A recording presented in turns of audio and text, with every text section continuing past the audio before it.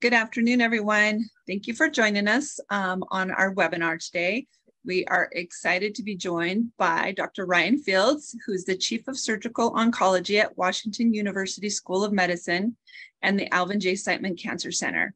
He is a translational surgeon scientist that is the principal investigator for the Patient Engagement and Cancer Genomic Sequencing, or PECGS, Cancer Moonshot Program at the Washington University School of Medicine. I'm Melinda Bachini, the Director of Patient Services with the Cholangiocarcinoma Foundation. And Dr. Fields is going to give a presentation and we will open it up for uh, questions and answers at the end of the presentation. So feel free to put your questions in the Q&A box or in the chat box and we will get to them at the end of the presentation. Thank you, Dr. Fields, for joining us. I will turn it over to you. Well, thank you very much for having me and, and for your partnership and um, all the work that we um, have done and are trying to do would would not be possible. It's just easy to say it would not be possible without the partnership of the Cholangiocarcinoma Foundation, and I'll explain why and and where a, lot of this work came from and where it's going. Um, so I'm going to um, go through some slides uh, for about 15 or 20 minutes, and then we'll have a chance for uh, some uh, hopefully good discussion. So uh, Melinda, is that projecting okay for you guys? Seeing the slides? Yes, it all looks good. Great. Um, so the title of this um, um, project is a bit of a, a mouthful, um, the, the, Participant Engagement and Cancer Genome Sequencing or PECGS program, and that came from the National Cancer Institute. And I'll, I'll take uh, go through a little bit of background about where the program came from and how it integrates with the Cancer Moonshot, and then what we're trying to do specifically in cholangiocarcinoma. Um, and I'm presenting this really, as I indicated in the bottom there, on behalf of a, a, a large group of investigators at, at my cancer center uh, and uh, partnership with the Cholangiocarcinoma Foundation and other patient advocacy groups. So no disclosures or anything uh, relevant to this discussion that uh, I need to mention. So let's go back in time to 2015. Many uh, will probably remember when then President Obama uh, announced the cancer moonshot initially. Uh, he did this during his State of the Union address in October of 2015. And as he was announcing it, he turned and uh, told then Vice President Joe Biden, Joe, you're going to be in charge of this. As many know, uh, uh, Joe Biden's son, Bo, died of a, a brain tumor, so he was very engaged in this process. And the cancer moonshot uh, analogy was uh, uh, tied into President Kennedy's challenge to, to put a person on the moon, um, with the cancer moonshot being charged to make uh, big progress, big inroads in cancer uh, in many aspects um, uh, by 2020. and, and then really with other goals, really to cut the cancer death rate in half by 2040. So of course, the first thing that they did when they announced it with this billion dollar investment was what are we what are we going to do with all the money? So um, uh, then Vice President Biden uh, put together what he they termed a blue ribbon panel of cancer experts. These were people across the spectrum of basic cancer research, translational cancer research, clinical trials, disparities, to really come up with uh, key initiatives. So this is a screenshot from the cancer.gov Cancer Moonshot uh, webpage. You can uh, see this um, uh, uh, yourself, and if you sort of, it, it's it's pretty um, easy to navigate through. And if you look on the left-hand column, when you were to look through here, what the research initiatives are, there are a number of different research initiatives shown in blue here, and these were what the blue ribbon panel said. Here's how we need to come up. Uh, here's here are key priority areas where there's either a gap or an unmet need that we should prioritize this money. And one of those was to establish a network for direct patient engagement.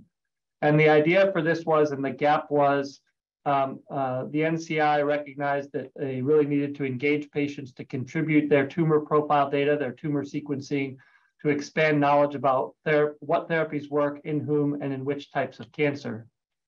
The gap there was uh, predominantly related to the observation that I think we all appreciate now more than ever and that a lot of the studies done in, in a lot of solid tumors, including cholangiocarcinoma, were very heterogeneous. They really uh, had overrepresentation of patients of a particular age, of a particular demographic, whether that was male, female, white, black, um, um, patients that had had uh, from particular geographic areas.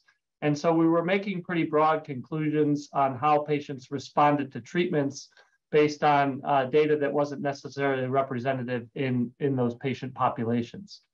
So part of it was to overcome that gap. part of it was to st study rare, uh, more understudied cancers like cholangiocarcinoma, and to engage patients directly in this to try to understand why patients participate or don't participate in these types of studies. This is a little bit more detail about this uh, uh, particular initiative in terms of the establishing a direct network for patient engagement. And when this came out, we initially uh, very quickly realized that cholangiocarcinoma could be not only a great tumor to study because of all these reasons, but that the Cholangiocarcinoma Foundation and the work that you all have done with your Mutations Matter campaign and the mutations that are relevant in cholangiocarcinoma could be a perfect partnership here. So the um, research network that was formed, and again, the NCI came uh, up with this uh, mouthful of a topic was this participant engagement in cancer genome sequencing network. Um, this was to uh, support what I had mentioned, the direct engagement of cancer patients as participants in their cancer research. So they didn't want, you know, just Dr. Fields and Dr. Smith and Dr. whoever to put together a proposal that said we're going to study all these specimens. They wanted patients and their caregivers, what we term participants, so patients and their caregivers, their support network, to really be involved in the research program to try to not only better frame the questions, but better ask the questions and then figure out if our methodologies were, were working from the patient and caregiver perspective. I'll give you an example when we had, uh, uh, when we were at the Cholangiocarcinoma Foundation annual conference and uh, Melinda and others gave us a form and we talked with patients we didn't really recognize how important the timing of when we might approach a patient for participation would be, but a lot of the patients and caregivers and participants did and gave us a lot of good advice on, on timing of approaching uh, uh, uh, participants for this type of study. Um, these research centers are going to use different approaches to promote cancer genome sequencing programs that would address important knowledge gaps in the genomic characterization of tumors. The network uh, was specifically interested in using direct participant engagement to advance the understanding of rare cancers, highly lethal cancers, cancers with early age of onset, cancers with high disparities, and cancers that are prevalent in understudied populations. And really, cholangiocarcinoma hits uh, the majority, if not all, of these factors that the NCI was interested in studying.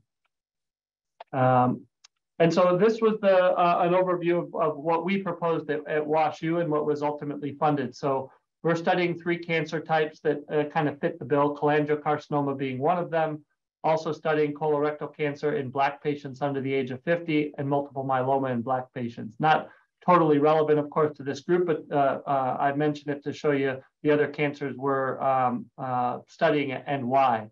And then what are we going to do? Well, we're going to do a lot of really cutting edge genomic and, and transcriptomic and other characterization that I'll mention at sort of a 30,000 foot view. This is beyond the standard sequencing that you might have as part of your standard of care, but we would integrate that standard of care testing into the analysis. And then we're going to directly engage the participants and the patients in translating these results and providing these results back to patients and their caregivers. And we're going to study how what the impact of that is. So is it helpful, of course, from a, a treatment standpoint, but is it helpful in in in in a better understanding of your own uh, uh, uh, uh tumor or cancer? Is it uh, provided in a way that feels like there's some level of, of satisfaction and contribution to the field as a whole, but also personally? And when we do things like informed consent and discuss the study, when we then return results, is it done as in a way that is number one, easily understandable and, and optimized? Is it, it, done in a way that's efficient? Is it done in a way that from the patient and the caregiver perspective would encourage further result, uh, further participation in clinical trials and clinical studies and in clinical research?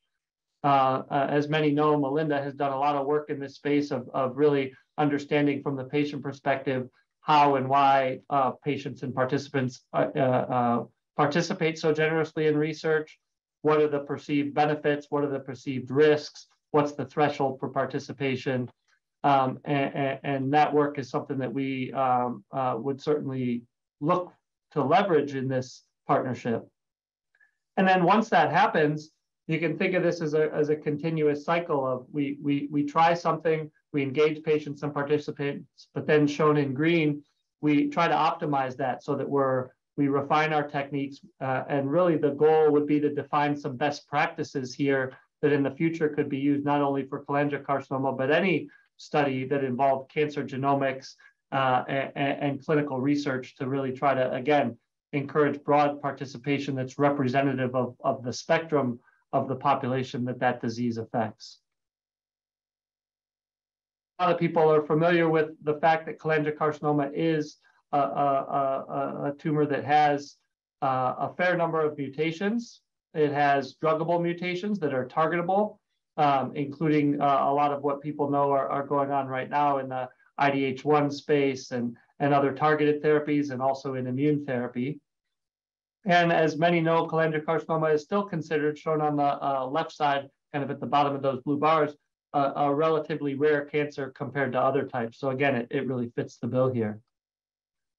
As I mentioned at the outset, I'm really presenting this on behalf of a large group of, uh, uh of a team of about 30 investigators, but the other principal investigators, uh, uh, there are four of us, include Graham Colditz, who's the director of our Division of Public Health Sciences and a public health and implementation science expert here at Washington University. Bettina Drake, who's an expert in cancer disparities in public health, also, also here at Washington University. And then Li Ding, who is the head of uh, our Genome Institute and a world leader in cancer genomics. So again, each of us will lead one of these three units, our participant engagement unit that will um, uh, coordinate uh, consenting patients and involving patients into this study. We'll then work on the logistics of obtaining medical records and specimens and get those here into WashU.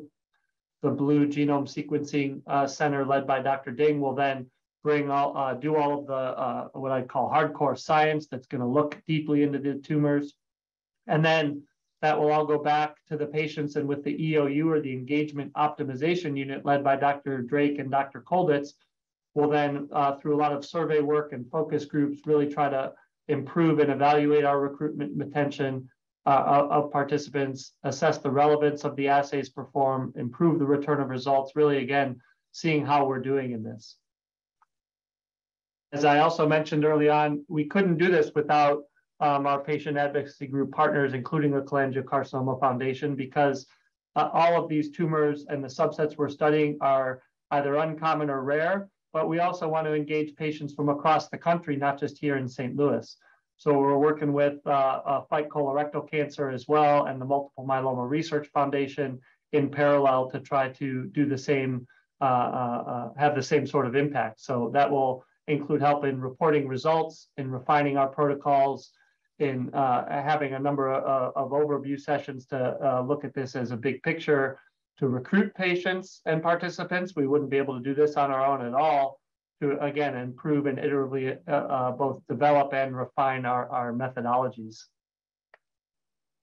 These uh, um, units, as shown on the, on the right, will also integrate with some other larger cancer and uh, NIH initiatives. This includes the National Cancer Institutes, larger genomic sequencing efforts, the NIH's All of Us program, which is not a cancer specific uh, program, but a program related to trying to integrate genomic sequencing with health records across the spectrum of human disease. And then, of course, returning the results and reports that we develop directly to participants and their caregivers and their physicians. We hope to enroll several, several hundred patients per year across the five years of the study, and that includes uh, including uh, uh, a large number, several hundred patients from the get-go that would be retrospective patients. So these can be patients diagnosed previously with cholangiocarcinoma uh, and these other cancer types where we can go back and, and retrieve previous surgical specimens or biopsies for analysis, contact the patients and their caregivers to do some of the survey work and gather medical records. But it'll be done over the course of this five-year grant. And then what we'll actually be doing, which is uh, um, um, some uh, pretty cutting edge and in-depth uh, work. Uh, the sequencing that we will do will involve some of the standard whole exome and genome sequencing, but really we will get down into doing single cell work, the most cutting edge uh, uh, sequencing you can do right now that looks at DNA and RNA and the epigenome from individual cells within a specimen. So we understand the changes of the tumor cells, how different those are amongst the tumor, what we call heterogeneity or differences in the tumor.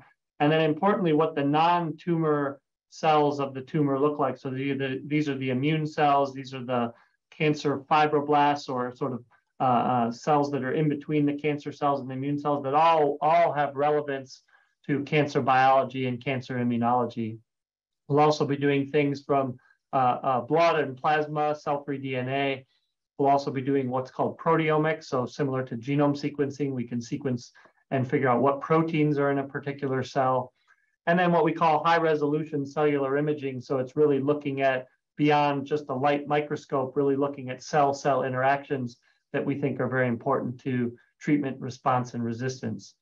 So big picture, we're going to really be taking uh, what's available in 2022 as the most cutting edge techniques that Dr. Ding, again, a world leader in cancer genomics, can apply to these precious uh, specimens to really better understand cholangiocarcinoma at these levels. Um, this is just shown, uh, again, the complexity of some of these pipelines where then you get all this data, terabytes and terabytes, hard drives and hard drives of data, but we have a very sophisticated plan for data integration of how we put that all into reports, both reports that we understand as scientists, but also as reports that can then be passed along to patients of, hey, what did we learn? How can, how can this in, how, how can this affect your care right now if we find something? but also importantly is maintaining a, an infrastructure where we say, here are the thousands of mutations or thousands of changes that we see in these cancers, most of which may not be relevant in 2022, but if some really smart person in 2023 or 2024 figures out that this one gene or protein is now of interest, having a way that we can automatically then flag those uh, participants that had that change and return those results in an, ex, in an expedited fashion if we think it might impact uh, uh, uh one's care. Uh, again, a, a, very informatics heavy approach, but uh, we, we have all of that developed or in development. In addition to the work with the Cholangiocarcinoma Foundation through the work that uh, Melinda and Stacy and others have done with both Ciitizen Health and Komodo Health, we hope to leverage some of those relationships as well so that all of this data that we do on the science side can be integrated with the clinical and sort of healthcare, uh, health system level data as well.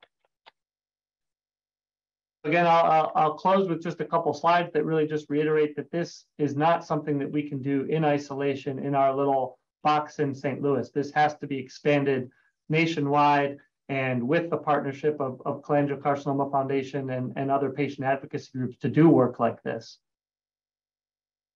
This is sort of really a, a schematic or a figure of, of how this will actually work. Uh, so if we start in the in the upper left, we would identify and recruit patients with the partnership of the Cholangiocarcinoma Foundation. That may be us reaching out or patients reaching out to us, and I'll explain how that will happen. Uh, we would uh, then enroll patients, and they would undergo surveys, uh, database population. Participant uh, would be reviewed for their medical records, where we decide what samples we need, what sequencing we're going to be able to do.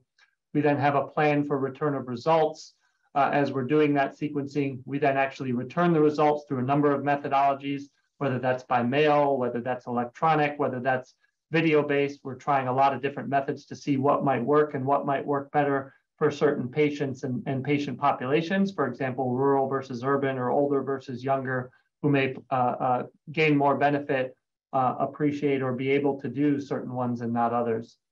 And then we're going to uh, evaluate this, and that in, in, in, involves evaluating both the engagement, the return of results, the different projects.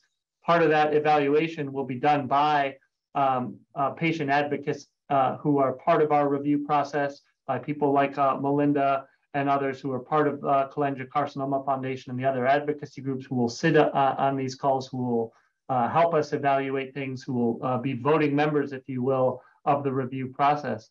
And then we want to re refine it. Again, it'll be very cyclical. So as we uh, identify areas that we're doing well or doing not so well that we need to change, it will be then iterative. So then we can change things and then again, reevaluate how we're doing to try to develop these best practices. This is uh, uh, my contact information in terms of my office and cell phone and email um, um, for uh, further follow-up or questions. But really what I wanna advocate is that this is the best way for patients, caregivers, or really anyone to learn more about this project. Um, uh, we're basically launching this uh, about a week from now in terms of uh, we've had the time to now get all the infrastructure set to be ready for patients and participants to come in. This email down here is the best way to get more information and potentially uh, enroll if someone was interested. the phone number and website as well. there, we have a, a, a full-time clinical nurse named Danielle and a research coordinator named Hassani who will both be uh, kind of the boots on the grounds of answering these emails and then uh, beginning the process of enrolling patients. What I'll really uh, emphasize is this study does not involve uh, physical visits of coming to St. Louis. It's not necessary. It doesn't involve new biopsies or new surgical procedures.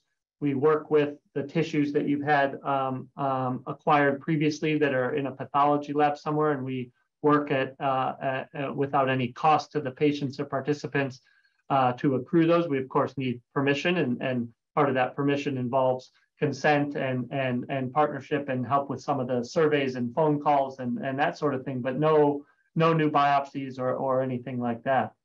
Um, we're super excited about uh, the prospects of this really making a, a, a dent in the field uh, of, of, really improving the participation in, in, in genomic studies of patients with cholangiocarcinoma uh, that will allow us to learn a heck of a lot more about this cancer at a very, very detailed level. Um, so I'm going to stop there. Um, and I think we'll open it up to questions and, and a, a, dialogue. So I'll stop, uh, maybe I'll uh, stop sharing my screen um, and we can um, uh, see what shows up in the chat. Yes, if you can stop sharing that would be good. You're still sharing, uh, Dr. Fields? Yep. There we go. Perfect. Um, okay, so we had a few questions come in. Uh, my husband has had multiple liver resections, each time a different mutation. If we provided this info, could we then resubmit subsequent tumor samples for a renewed study? So yeah, that's a great that's a great question. So we look at each individual patient or participant as say one case, but within that case, there might be one biopsy or one surgery, or there might be multiple biopsies and multiple surgeries.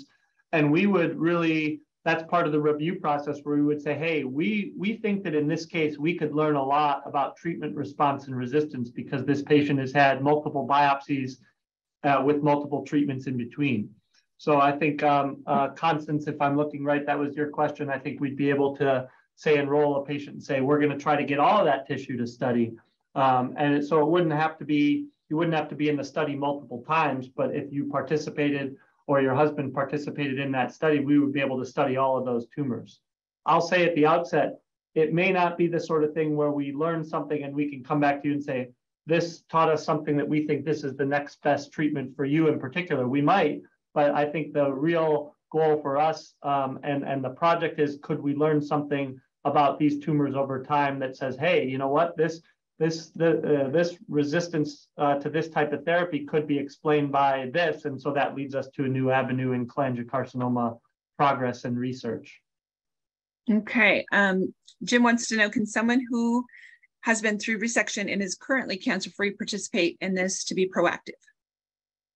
Yeah, uh, it's not the sort of thing that um, um, you need to have active cancer um, it could be any time in your in the treatment. So it could be somebody who says, "Listen, I've been cancer free for 10 years, and I hope there's many, many of those types of patients." Of course, that's our goal, and we can go back and, and pull from the, the, previous surgeries or previous biopsies.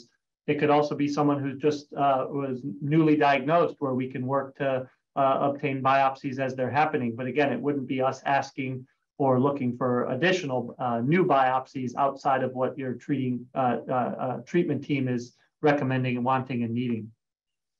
Okay. Fred wants to know what were the outcome benefits of moonshot number one for cancer patients, if you know? Um, so the, the moonshot, um, it wasn't that there was one cancer moonshot or two cancer moonshots. It was, but uh, it's been extended uh, and new priority areas announced. Um, so there have been a number of areas of the cancer moonshot that I would say, hey, here's like the best success story. Uh, one example would be in a particular pediatric uh, lymphoma or leukemia where uh, uh a new therapeutic was discovered uh, as a result of the moonshot. Um, There have been other pro, uh, programs, for example, another program that Dr. Ding and I participate in that's different from the PECGS program. One of the other uh, initiatives was called the HTAN or Human Tumor Atlas Network. And the idea was, could we create these very detailed tumor atlases of cancer types across time, where we uh, uh, are able to obtain specimens either from blood or from tumors across the treatment spectrum, sort of like we were talking about a couple minutes ago, and then study those to identify new therapeutic options. And so in pancreas cancer, we just had a, a big paper or study come out that we hope will uh, has identified a new therapeutic vulnerability, a new target in pancreas cancer. So those I'd say are some of the biggest success stories of the moonshot so far. Um, uh, but there are many examples that you can find some of the publications and studies on the Cancer Moonshot website that have uh, been a, a, a, success story. Okay, next question. Is this only for US patients? Um, it is only for uh, patients that are being actively treated in the US right now. Um, what we may end up doing if there's a lot of interest outside of the US especially still in North America. Uh, we may try to open it up to some other centers. It's a bit uh, challenging to do that uh, for a, an NCI funded project. It's not impossible, but uh, we wanted to start out within the US and see how it would expand. Okay, and then are tests such as Tempus accessible to your program? Can you clarify? Yeah, so so um, there's a number of different, um, obviously, uh, uh, groups out there, companies that do um, genetic testing of tumors for standard of care. So Tempus is one, uh, Foundation One is another, Caris is another. Most patients with cholangiocarcinoma, in no small part because of uh, the Cholangiocarcinoma Foundation's work on the Mutations Matters campaign, will have already had standard genomic sequencing like Tempus done. We, we would integrate that into our work uh, typical genomic sequencing like for Tempus is looking at what I would sort of say is a high level view of the mutational profile. Let's say that uh, that's at a level comparable to um, a 30,000 foot view on an airplane. We're going to be going down deeper, deeper, deeper into the weeds with all of the research sequencing that we can do on the single cell level on the science side that will complement that. All right. Um, George wants to know, you show a large range of information you will gather from the patients. What about the gut microbiome? There is evidence oh, that somewhat surprisingly, the gut bacteria can have substantial effect on patient survival. Fantastic question, very cutting edge. One of the cool things about this program is this is a, a, a about a, a five to $10 million sort of grant when you sort of factor in a number of the other participating centers. And what the NCI said is you have to set aside a couple hundred thousand dollars a year for each program to do pilot studies.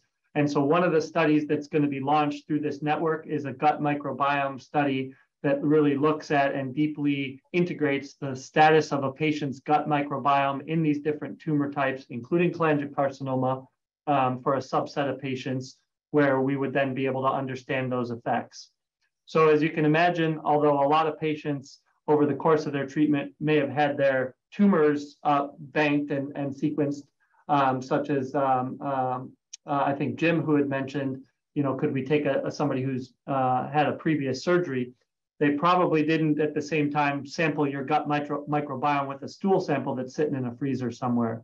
So that's going to take a group of patients that are, are newly diagnosed or, or on treatment where we can say, if we send you a kit, will you send us not only can we get your, your tumor samples, but would you be able to send us a stool sample? Not something we love to talk about at the dinner table, but these kits are pretty easy to use and, and we've had really good success with patients providing samples. And we think that that's going to be a really exciting area to try to better understand is there a strong effect on the gut microbiome for response to different types of treatments? Great, great question, and something we're super excited about. And I just want to let Jim uh, know that yes, we will be um, partnering with Ciitizen and the and our patients who are enrolled. Yes. Okay. Um, Andrew, this sounds like a high integrity, high resolution database. Will it be freely available to all researchers and public access globally? 100%. So, you know, a mandate of the NCI and the Cancer Moonshot program is any data that you generate from this becomes part of the public domain. Even before it's published, you have to agree to that that it occurs in a timely fashion, meaning we're not sitting on that data um, so that other people can't see it. So we have some competitive edge for something. Um, and, and, all of the raw data, so we publish a paper, but all the raw data behind that gets deposited to a, a, a database where it's freely accessible and queryable for patients and researchers around the world. Um, and, and anything we publish um, is what we call open access, meaning once it's published in whatever journal it is, um, anybody can click on it. You don't have to pay for the article. Awesome. Um, okay, so Mary Beth, I've been asked to participate in the moonshot in Pittsburgh. It requires blood tests also. What would be the best study to participate? Can she do both? Definitely do both. Um, there's no uh, no reason that pe pe people and participants in our study can't be on other studies, can't be on a clinical trial um, because we're not asking to do anything different. Um, we will, most of our, um, for patients that are not from uh, in the St. Louis area, we will get, um, at, send a kit to your house that would involve a cheek swab to obtain some of your normal DNA that we can compare to a tumor. There might be some subgroups and pilot tests where we ask and, and arrange for a, a, lab to come by your house for a blood draw for patients that are willing and able to participate, uh, just like the stool samples for patients that may be participating in some of these smaller projects. Um, but there's not, um, it, it doesn't require a blood draw for all patients. Okay. And what is the expected turnaround time for results? Um, probably a little bit that depends because um, it, uh, it, it, becomes less expensive to do the work when you analyze a large number of patients at the same time. So we'll probably be doing the actual work in batches of about 10 to 20 patients. So it may be that somebody who, let's say, comes in initially and is patient number one on that batch versus patient number 20, the, the amount of time may vary, but typically the results will probably be coming back to participants on the order of four to eight weeks. Okay. That's so, also something that we're going to be measuring and trying to understand if we can improve on that and does that time frame make a difference to patients? Do they have a perceived benefit or is it helpful for them to receive things more quickly, less quickly in, in batches? If uh, certain results come back quicker, is it better to wait and, and have a discussion or a return of results that shows everything versus piecemeal? Okay. Um, so do you have to have tissue or would a blood biopsy be enough? We're always going to want uh, tissue um, because we need to compare the blood results to that and to be able to do some of the extensive tumor related work, we're going to want to look in the tumor directly. But again, that can be a biopsy that, that uh, if, if we know where and when the biopsies were done, our infrastructure does the legwork to then request those and get them to us for analysis. So on the return of results to a patient, what would a report, um, what, what is the results that are going to be covered in the report that's returned to patients? Sure. There'll be uh, several reports that cover what we would call sort of tier one or actionable results, meaning, hey, this is a, a, a genetic um, change in your tumor, let's say a, a, an IDH1 mutation that we know has a, a, drug that we could target right now that would be clinically meaningful. Um, then there's sort of tier two and tier three. Tier two are hey, there's a mutation here. We don't know if it's clinically relevant, but it could be. And then there's tier three results that are pure research. Um, we have the ability to return all of those results to participants and, and patients. And we would do it uh, in, in, a different in, in, in different fashions and try to understand number one, what do patients want to know about?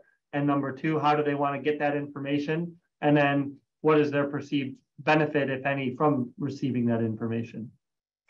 And then, Dr. Fields, I just want you to explain a little bit. Our patients are used to getting the genomic results, but we're also going to have the opportunity to receive genetic results, correct? Yes, I mean, so uh, there would be results about your genetics in general, anything that we found non-related to cancer that we might find from doing this work, also related to the tumor, of course. Um, and then outside of what we're looking at in just what you call the genetic results, there are at the uh, transcriptomic or the RNA level, a different uh, molecule, and the epigenome, which is sort of regulates how the genome is, is interpreted in, in, each cell of our body. There'll be a lot of these different results. Again, some very research focused, but we want to provide these reports and this forum, this dialogue back to participants in a way that they have some meaningful understanding of, whether that's meaningful understanding of, hey, here's what here's what these scientists are doing and what they're learning and what they hope is the next best thing in cholangiocarcinoma, or hey, if you do find something directly relevant to my case, to my cancer, how can you get those results back to me? And I also want to emphasize that every patient who participates, every participant will have the opportunity to decide what results they want back or if they want the, any hereditary information back. Yes, we've had some focus group and, and patients that have said, listen, I, I'd, I'd love to contribute to this. This sounds fantastic, but I don't want to know anything about, like, I don't need the results back to me. I just want to, this to go, uh, my tumor to be looked at if it's going to help someone down the road. Um, you don't have to tell me about the research. Then you've got people who are just really interested and really want to know more about what we're doing. And, and part of that is because they want to learn more and be able to spread the word and be on the cutting edge, whether that's of pure interest or uh, to help with their case. There's just a lot of reasons that number one, we want to know and understand, and that's why we want to partner with patients and patient advocacy groups. Okay, could we submit Viome results of the patient's microbiome? Yeah, so any, yeah, any any any um, commercial uh, results that are either in the microbiome or that are be, have been done in um, in the cancer genomics like Tempus, we would want to try to get all that data. So you could imagine if you were patient Smith and you were going to participate in this during your uh, interview or questionnaire with Daniela or Hassani, where they say, where have you been treated? What, what, what are some of the, who are your doctors? What test results do you know you've had done? And somebody mentioned something like Tempus or Viome. We will get all that data in here, of course, with permission to be able to integrate that with what we're going to do. Okay, Julie says, do they have a limited number of patients they can take in this trial?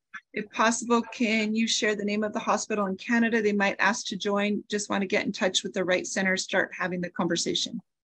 Yeah, if we open it up uh, beyond the US, it wouldn't really matter where you were in, in Canada or another, uh, uh, another location.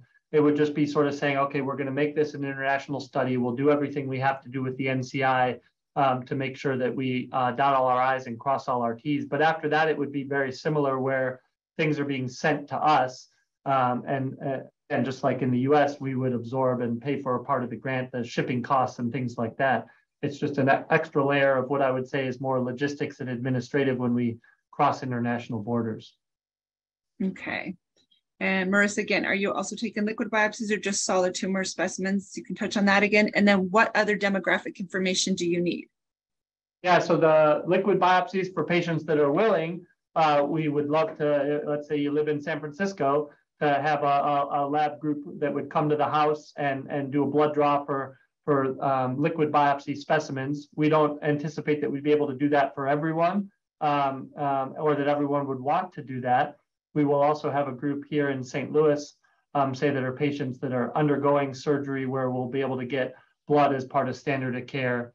Um, so we would certainly uh, love participation of patients who are willing to do that. And then the demographic information that will be collected will be pretty uh, extensive. Everything from um, um, the, the easy stuff like male, female, uh, uh age, and, and uh, uh, ethnicity, things like that, but we'll also be looking at rural versus urban. We'll be looking at doing certain dietary and health questionnaires. So really just trying to get uh, as deep a dive into the demographics and what we call kind of metadata of, of what's in, uh, what, what are the participants and what are the patients like uh, across the spectrum of, of their lifestyle, their environment, their background, family history, things like that. Okay, well, before we go, Dr. Fields, well, um, if you could share that slide about how to register again, and then we will be having the information on the um, Cholangiocarcinoma Foundation's webpage, and we'll get that information out to you too when ready. Um, yeah. And then so uh, this is the, the best way for somebody who's interested or who wants to um, uh, uh, uh sort of get, get more information and also consider registering is shoot an email to that pecgs at wustl.edu or give us a phone call at 314-273-2434. Um, there'll be, it's sort of set up to be a, a voicemail, and then you get a call back from either Danielle or Hassani to get the ball rolling. Okay. And, and, and then, I'll tell you, there may be, you may, you may learn a little more about it from them and say, this ain't for me, and that's fine too. Uh, what we really want to do is then uh, understand why people participate, why they don't, and how we can uh, uh, really make a dent here. How optimistic are you about this research actually making a difference to cholangiocarcinoma patients' prognoses? So one of the, uh, so very optimistic. Um, I will couch this by saying I'm, I'm uh, exceptionally optimistic about this study, and I'm exceptionally optimistic about some of the tools that have come online in the past couple years to, to probe into the biology and immunology of tumors at a totally unprecedented way. So what happened back uh, with the genome revolution and being able to sequence tumors, now we can do that at such a higher resolution with imaging um, that, that our ability to really understand why some tumors respond to treatment and don't, especially immune therapy, is the next frontier. One of the things that's hard in certain cancer types that are rare, like cholangiocarcinoma, is if we do that in one or two patients, is it just because is that something that's very unique to those patients, or are we able to see a trend? Well, if we're able to study hundreds of patients with cholangiocarcinoma using these techniques and, and with the participation of a broad uh, representation of, of cholangiocarcinoma patients, we will undoubtedly figure out some very important things about cholangiocarcinoma that I think will be very relevant to treatment, um, that will better select patients for the right treatments at the right times to maximize the ability of that treatment to work and minimize the times that we're putting patients on a therapy that just isn't going to work for them, um, which obviously exposes you to all the risks and no clear benefit. So I'm very optimistic that this type of research that spans uh, large groups and large teams of investigators is the way of the future to make a, a, a dent in, in cancer biology and cancer immunology. And Constance has a very important question. You say the study data will be publicly available. Will it be de-identified? Yes, 100%. Um, so there would uh, not be anything that would be tied to any of this um, that would be able to go back and, and uh, uh identify a patient after the fact. Now we will we we have a it's called an honest broker system where we have uh, at WashU behind multiple layers of protection, someone who has the key. And the reason for that is, again, if, if we if we do all this work in 2022 and we find out in 2024 that a new mutation makes a big difference in cholangiocarcinoma, we want to make sure that if the patients wanted, we can get that data back to you um, quickly to say, hey, you know, you participated in this and we found that this gene is now relevant and, and you'd be eligible for this treatment. Okay. How much tissue do they need? What what are you looking for size wise? We can do a lot off of very small biopsies. So this could be a needle biopsy that was done. This could be a surgical specimen, resection specimen that was done. It may be that when we're doing the review of what samples are available, that if someone had a big tumor in their liver that was removed, we may be able to do some things where we obtain multiple biopsies from that specimen that's in, in pathology to be able to answer some things about this idea of heterogeneity that may be different from someone that's had a small biopsy, a needle biopsy of, say, a lymph node or something in the lung or anywhere else that we do very different studies. But we would not necessarily be limited on first pass at, uh, at uh, amounts just because we can do so much with such small tissues these days. Um, and Fred, it looks like he he reached out back in February, probably after the conference. Yeah. Yep. So, so more than likely they'll be reaching out to him next week when it's yep, launched. Fred, Fred, I actually, you are on our, our list of, of, uh, of people who have reached out, which there are many. Um, it's taken us uh, uh, really about nine months logistically through hiring people and some of the COVID challenges, but also all this infrastructure to sort of get everything ready to, for our launch date that's going to be next week. So that was one of the reasons for the timing of this webinar, and, and you'll see some announcements coming online over the next couple weeks as we're really um, getting it uh, off the ground and hope to hit, hit the ground running. All right. Fred says, thanks. Um, last call for questions, last minute questions. Go ahead and throw them in the chat if you have any. Um, and then if you need the contact information, you can reach out to um, the foundation or to me at melinda at cholangiocarcinoma.org or advocacy at curecca.org. And I'm happy to get that contact information to you. And then um, soon we'll be having all that information on the website for you as well. Anything else, Dr. Fields, that you want to say before we go? Just a huge amount of thanks. Um, this is uh, thanks to, of course, Melinda, Stacy, the Cholangiocarcinoma Foundation for being our partners in this. It just wouldn't, we wouldn't be able to do this without it. And to all the um, patients and their caregivers and their advocates for uh, being willing to uh, uh, potentially help us and, and learn something and be true partners in this. This is, uh, I, I, think we've seen over the past, you know, several years, a, a new way that the uh, the world looks at, at, at a lot of things, importantly research, and that the people who participate in research are integral to making that research meaningful and impactful and making it so that it, it, it has the most benefit. So we look forward to partnership and participation uh, uh, of many of you and of the, our continued partnership with the foundation. Okay, we did have another question. And while I'm reading that, will you share that contact slide one more time? They wanted it one more time. Yes, definitely. Let me okay. share screen. Well, there we go. Will NGS analysis be done regularly during treatment? For example, would you catch an IDH1 mutant patient who develops an IDH2 mutation? Will you catch FGFR2 uh, mutation changes, resistance?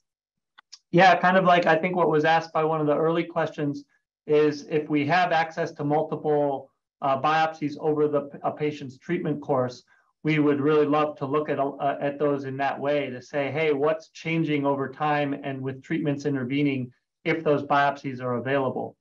Um, and so uh, uh, as the intake happens, if we have a patient that goes on to some of these treatments and then has another biopsy, we'd love to try to get our hands on, on all of those for just that type of analysis. Okay. So would this be something if someone signs up that they would stay in contact with you and say, hey, I had another biopsy. Do you need a sample or just keep that in the back of their mind? Yeah, uh, we would have pretty regular follow-up and we will be creating a patient portal, a way for the patients to interface with us where they can see their results. They can communicate with us almost like a, a, a chat in their standard medical record, but this would be sort of a, a, within the research database. And so it would be a way to say, hey, I'm going to have another biopsy. Um, um, we can uh, uh, then request that or hey, I had a, a, a, read one of my reports and I had a question. So really a good way to seamlessly interface with us. Okay, and just to reiterate, there is no cost to the patient. Correct. Um, if you're already having a biopsy, the, they're just going to use the tissue that's already there and available. Um, and anything that we request, like these cheek swabs or something, would be mailed to you with a prepaid mailer to send back to us and, and easy instructions and phone numbers to call and ways to do a, a quick FaceTime or a Zoom if you needed help with something. So we're really going to try to address a lot of the things that have been brought up by patients and patient advocates about how we can make this not only meaningful and impactful, but but but easy. Okay, and I just want to reiterate, there wouldn't be frequent repeat biopsies. It would only be if you were doing them um, in your standard of care treatment. Correct. Like if if let's say a, a patient participated and, and had had surgery two years ago, uh, we would get that specimen. And let's say then they were going in for a biopsy, you know, a month later, um, we would try to get access to that if we could, but we wouldn't ask the patient to have an additional biopsy uh, uh, or an additional procedure. Okay, I think that was it. Those last few questions that came in. I want to thank everyone for the wonderful questions. You guys always come up with great questions. We got a lot covered there. That's fantastic. Thank you, um, Dr. Fields, for explaining it all to us. We look forward to the launch next week and for getting um, cholangiocarcinoma patients signed up. We'll get that information out to you and feel free to reach out to myself or Dr. Fields for more information. Everyone have a wonderful day and thank you. Thank you so much.